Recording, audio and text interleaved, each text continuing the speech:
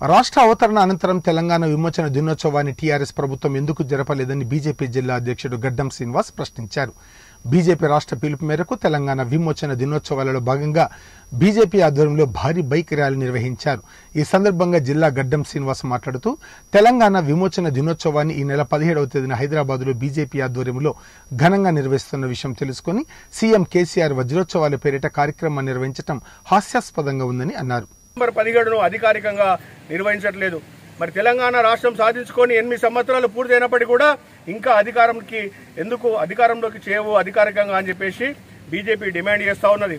మరి కేంద్ర ప్రభుత్వము ఈ విమోచన దినోత్సవాన్ని పెరేడ్ గ్రౌండ్లో హోంశాఖ మాత్యులు మరి స్వయంగా పదిహేడో తారీఖు వచ్చేసి నిర్వహిస్తున్న సందర్భంలో ఇప్పుడు వజ్రోత్సవాల పేరిట చేస్తామని చెప్పేసి ప్రగల్భాలు వలుతున్నారు మరి ఇదే గత సంవత్సరం ఎందుకు వేయలేవు అంతకుముందు ఎందుకు వేయలేవు అని చెప్పేసి మేము బీజేపీ పక్షాన డిమాండ్ చేస్తూ ఉన్నాం.